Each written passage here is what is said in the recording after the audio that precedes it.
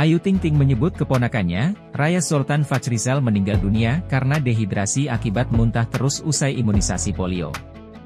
Namun, Ayu tidak mau buru-buru menyimpulkan kalau bayi yang biasa dipanggil Sultan meninggal gara-gara keracunan obat. Ini bukan kali pertama Zoltan menjalani imunisasi. Ayu juga menyebut Zoltan tidak pernah mengalami gangguan kesehatan dari rangkaian imunisasi sebelumnya. Daripada sibuk mencari penyebab kematian Sultan, Ayu memilih ikhlas. Ia percaya, berpulangnya Sultan sudah bagian dari takdir yang tak bisa dilawan.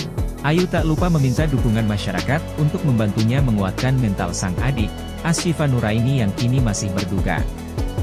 Doain adik saya aja, semoga Syifa kuat, ucap Ayu Ting Ting.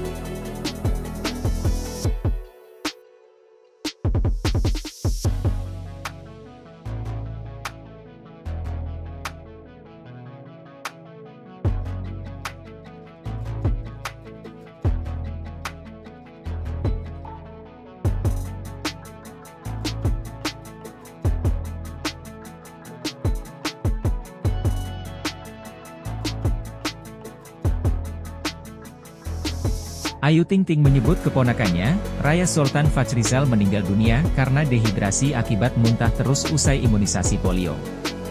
Namun, Ayu tidak mau buru-buru menyimpulkan kalau bayi yang biasa dipanggil Sultan meninggal gara-gara keracunan obat. Ini bukan kali pertama Sultan menjalani imunisasi.